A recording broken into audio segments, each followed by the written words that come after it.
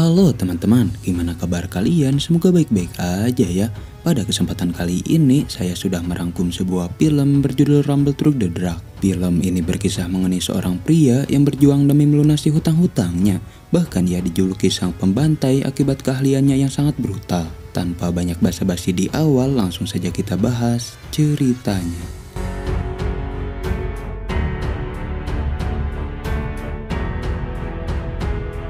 Film diawali oleh seorang ibu yang keluar dari dalam mobil, di mana tanpa alasan yang jelas dirinya menaruh sang anak tepat di depan rumah seseorang, dan ia langsung bergegas pergi pada saat itu.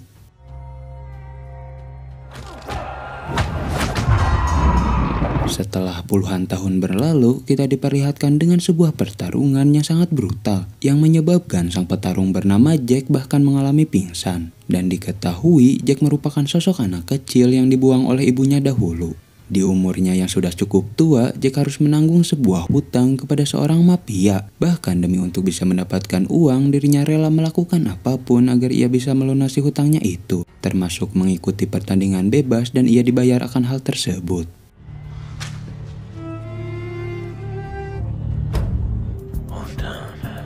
Untuk bisa mendapat uang secara instan, Jack memilih sebuah jalan haram yaitu bermain judi dan ia mendapat keberuntungan dengan kemenangan yang sangat fantastis. Tak ingin terkena sistem bandar, Jack langsung menukar semua chipnya untuk menjadi kepokan uang dan ia sangat merasa lega karena hutangnya yang akan segera lunas. Bukan tanpa alasan, Jack selalu mendapat banyak teror atas hutangnya tersebut. Bahkan tepat di malam itu, dirinya didatangi oleh seorang pria yang berniat untuk membunuhnya, di mana ia adalah utusan dari mafia yang telah meminjamkan Jack uang. Namun karena Jack merupakan seorang petarung, dirinya berhasil membunuh sang pria dengan cukup mudah.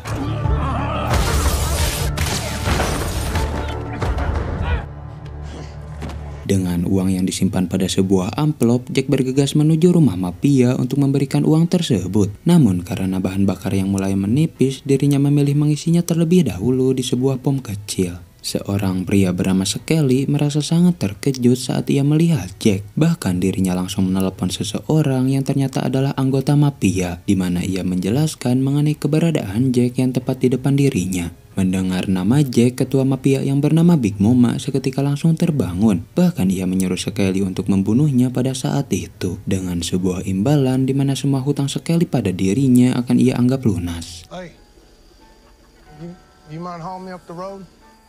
give it to me and get in. Dengan berpura-pura ingin menumpang, sekali diam-diam mempersiapkan diri untuk segera menyerang Jack. Namun karena Jack merupakan petarung handal, jelas itu bukanlah hal yang mudah. Bahkan sekali harus mengalami luka parah dan beberapa pukulan yang sangat keras. Setelah pertarungan tersebut, Jack mengalami sakit kepala yang membuatnya sangat tersiksa, di mana hal itu diakibatkan masa lalu yang selalu terbayang di dalam pikirannya, berupa ibu angkat yang telah mengasuhnya dan pembulian oleh anak-anak so asik semasa ia masih kecil. Dalam setengah sadar itulah Jack melihat sosok ibu angkatnya yang berjalan menuju sebuah cahaya, di mana Jack langsung mengikuti sosok tersebut dengan kondisi mobilnya yang masih dalam keadaan hidup. Tak selang lama dari kejadian itu, terdapat beberapa mobil rombongan yang akan melintas. Namun melihat mobil yang berada di kebun jagung jelas membuat mereka menjadi sangat penasaran. Hingga seorang pria bernama Baron memilih untuk memeriksanya. Betapa terkejutnya Baron ketika menemukan sosok laki-laki yang tak lain adalah Sekeli. Bahkan Sekeli tampak sekarat dengan banyak luka yang memenuhi tubuhnya. Hingga Baron yang tertega akan hal tersebut memilih untuk mengakhiri penderitaan Sekeli yaitu dengan cara membunuhnya. Ketika hendak meninggalkan lokasi, teman Baron yang bernama Ana tak sengaja menginjak sebuah amplop yang tak lain berisi gebokan uang yang merupakan milik dari Jack. Sempat bingung pada saat itu, akhirnya anak memilih mengambil uang tersebut namun dengan perasaan bersalah, yang mana momen itu dilihat oleh satu teman mereka yang diketahui bernama Ricky.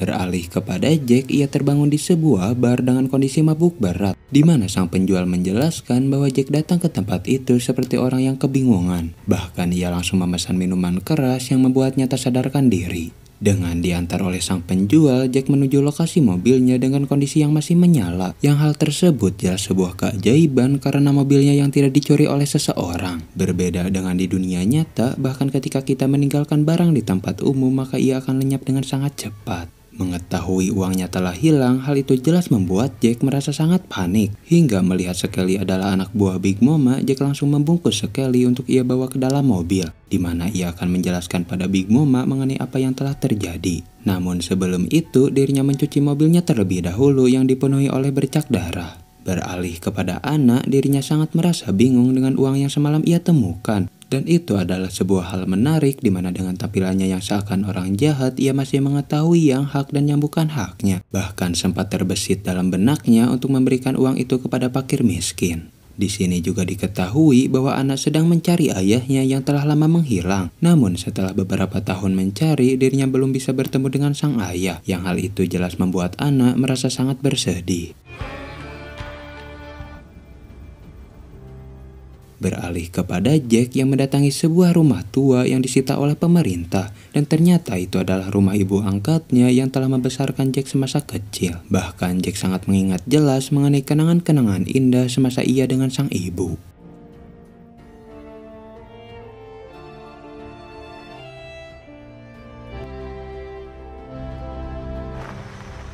Jack lalu mengunjungi sang ibu yang ternyata masih hidup namun mengalami sakit parah yang membuatnya harus mendapat perawatan. Bahkan sang ibu angkat sempat tidak mengenal Jack karena penyakit yang ia derita. Dengan gelagat so jago, Ricky datang menghampiri Baron yang sedang berada di kantornya, di mana ia berkata bahwa Baron telah menemukan sesuatu saat berada di tempat sekali tewas, yang tak lain adalah sebuah amplop dengan uang di dalamnya. Dan Ricky berkata bahwa ia ingin mendapat bagian dari uang tersebut. Ricky juga tidak main-main, bahkan ia mengancam akan membunuh Baron jika tidak memberikannya. Namun situasi berubah ketika Baron menodongkan sepucuk pistol tepat ke arah Ricky. Yang hal tersebut seketika membuat mental Ricky menjadi sangat ketakutan. Beralih kepada Jack di mana ia menuju markas Big Mama yang terletak di hutan terpencil. Namun layaknya seperti neraka, tempat itu dipenuhi oleh orang-orang yang kehilangan arah hidup. Seperti berjudi, hisap ganja, mabuk, berkelahi, main slot, togel, dan perbuatan dosa lainnya.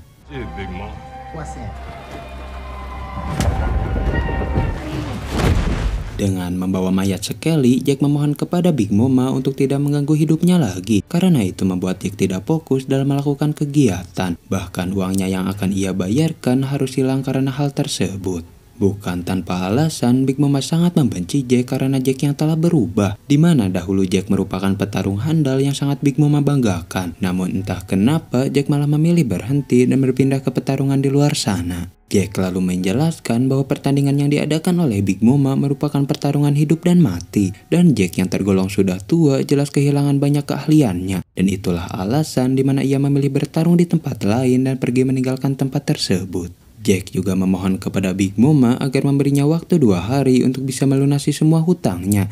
Namun karena Big Mama sudah sangat kesal, ia langsung memberikan Jack setempel besi yang membuat Jack sangat kesakitan.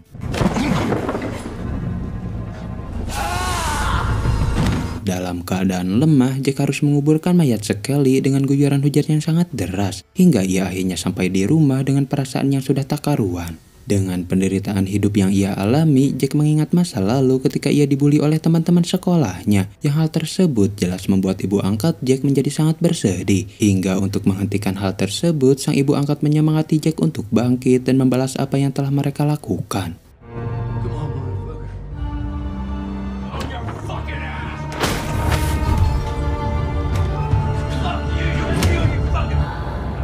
Semenjak kejadian hari itu, Jack menjadi sosok pria pemberani dan ahli dalam pertarungan, bahkan sampai ia dewasa dan mendapat julukan sang pembantai. Beralih kepada Ana di mana ia merasa risih ketika Ricky menatapnya dengan wajah aneh. Bahkan ia menjelaskannya kepada Baron mengenai kekhawatirannya tersebut. Dan Baron yang merasa kasihan menyuruh Ana untuk pergi jalan-jalan sembari memberikan kunci mobilnya. Melihat bensinnya yang akan habis, Ana menyempatkan untuk mengisinya terlebih dahulu di sebuah pom terdekat, yang secara kebetulan Jack sedang menyantap sarapan pagi tepat di seberang jalan. Tanpa anak ketahui, ternyata Ricky membuntuti dirinya secara diam-diam. Bahkan Ricky membawa anak ke dalam tempat sepi dan meminta agar Ana memberikan semua uangnya yang ia temukan pada malam itu. Jack yang melihat hal tersebut seketika datang membantu Ana yang membuat Ricky sangat marah. Namun dengan tiga pukulan keras, Ricky seketika langsung terkapar oleh serangan yang Jack berikan. Ketika akan pergi itulah anak tak sengaja mendengar pembicaraan Jack bersama seorang wanita, di mana wanita itu berkata mengenai masa lalu Jack yang merupakan seorang petarung handal, yang hal itu seketika langsung membuat anak menjadi sangat penasaran. Bukan tanpa alasan, anak yang sedang mencari sang ayah merasa mendapat sebuah jalan terang, di mana ayahnya juga merupakan seorang petarung yang ahli dalam bela diri. Bahkan yang membuat anak terkejut ketika ia mengetahui bahwa Jack merupakan pemilik mobil bak yang ia lihat pada malam kematian Skelly. Jack yang mendatangi rumah ibu angkatnya lagi seketika mengingat masa-masa indah yang terdapat di rumah tersebut. Bahkan ingatan itu serasa sangat kuat yang membuat ia tersenyum bahagia.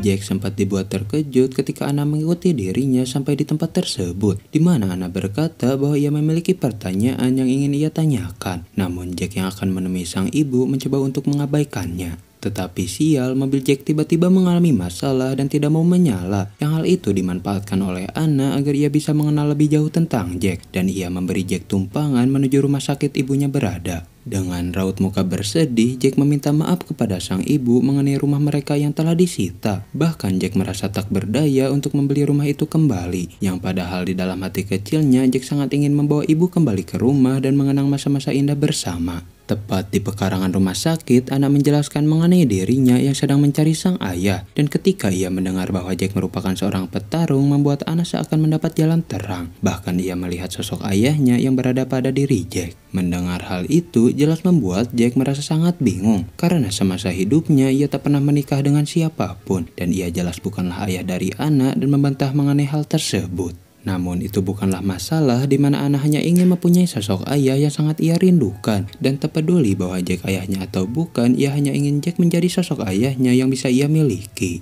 Anak juga menyerahkan amplop berisi uang yang merupakan milik dari Jack. Yang hal itu seketika membuat Jack menjadi sangat terharu. Karena dengan uang itulah ia bisa membayar hutang-hutangnya dan terbebas dari kejaran Big Mama. Bahkan Jack menganggap anak sosok malaikat yang telah menyelamatkan hidupnya.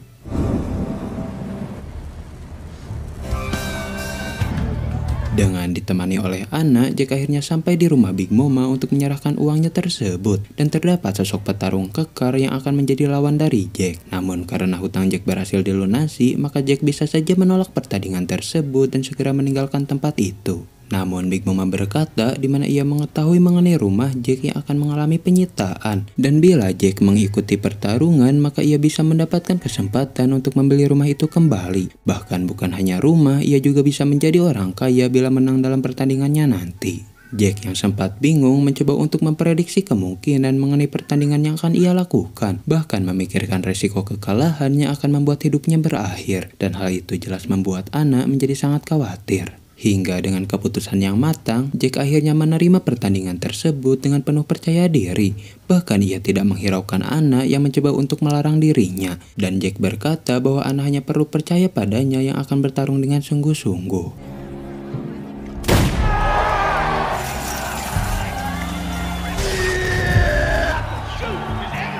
Tubuh yang sangat kekar, X seperti sosok monster yang akan menyerang mangsanya. Namun hal itu tidak membuat Jack gentar ataupun merasa takut. Bahkan ia sangat semangat dan pertandingan pun akhirnya dimulai.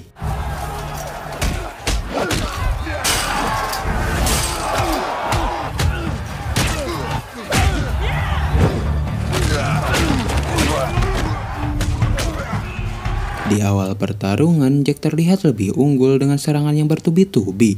Bahkan X sempat mendapat kuncian yang membuatnya kesulitan untuk bernapas. Namun karena Jack yang sudah kelelahan, dirinya mendapat serangan balik dari X yang membuatnya tidak berdaya. Bahkan X berniat membunuh Jack dengan sebuah balok kayu. Di detik-detik menegangkan itu, Jack melihat sosok sang ibu yang datang menghampiri dirinya, di mana sang ibu berkata kepada Jack agar tidak boleh menyerah dan terus mencoba bangkit apa pun yang akan terjadi. Hingga ketika X akan menghantamnya, Jack langsung mengerahkan pukulan keras yang membuat X tak sadarkan diri.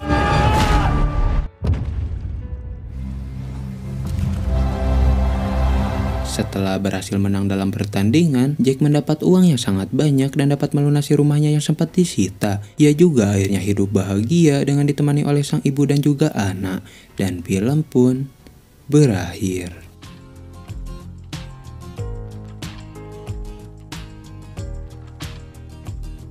Film ini cukup membingungkan dengan beberapa masalah yang tidak dijelaskan secara detail, termasuk Jack yang dibuang oleh ibu kandungnya dan memiliki hutang yang sangat banyak. Namun perihal hutang mungkin karena biaya pengobatan ibu angkatnya akibat mengalami sakit yang parah. Mungkin segitu saja pembahasan kali ini. Bila kalian suka dengan videonya jangan lupa like and subscribe ya. Saya Kaca Film 07 mengucapkan terima kasih dan assalamualaikum.